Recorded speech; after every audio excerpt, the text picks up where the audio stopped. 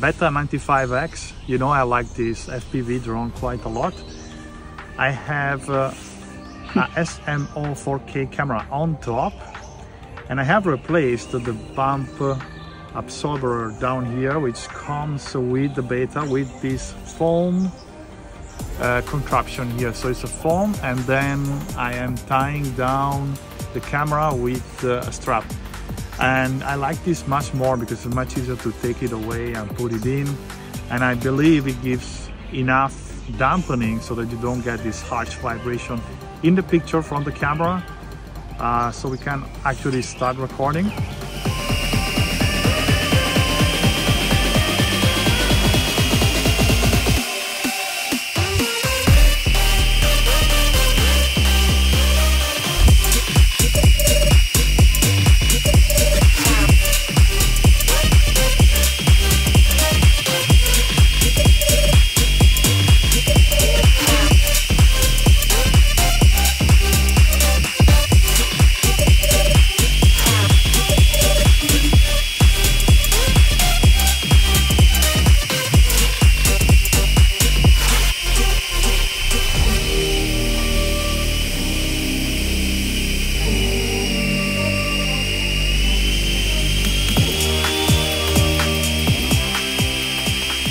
why don't we attach the camera directly to the drone, right? Why do we need this shock absorber or dampener in between the camera and the drone?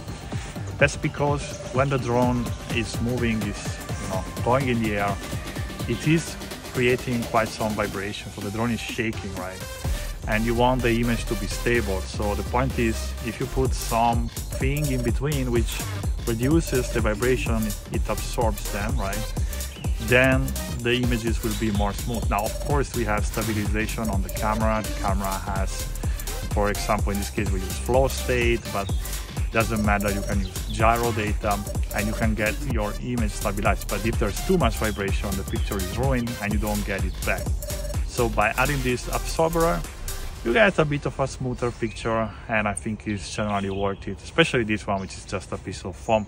And by the way, this piece of foam is the same where they use to store all the BetaFPV components that they send you so you have it already around you and then to fix to mount the camera to the foam is very simple you just basically place a wire and just bind it until the camera is stuck and you can remove and put back the camera anytime you want.